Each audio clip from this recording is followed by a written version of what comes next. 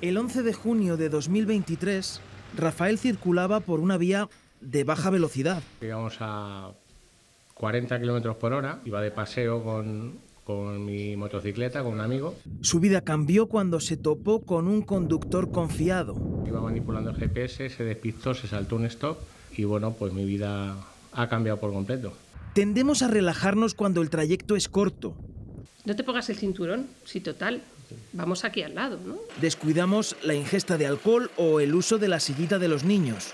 En torno a la, a la mitad de los alumnos no hacen uso de las sillitas en el vehículo en el trayecto que van del colegio a casa. Rafael, en cierto modo, reconoce que también se confió. Yo no llevaba el airbag porque otra cosa igual. Íbamos a comprarlo entre varios compañeros para a ver si nos hacían precio. ¿Y qué día vamos? A ver si libro, a ver si puedo, a ver qué día. Aún así, se considera afortunado. Si hubiera llevado el airbag de motorista no tendría lesión medular. Pero llevar un buen casco, la diferencia es que estoy vivo. Porque ir aquí al lado te puede costar la vida.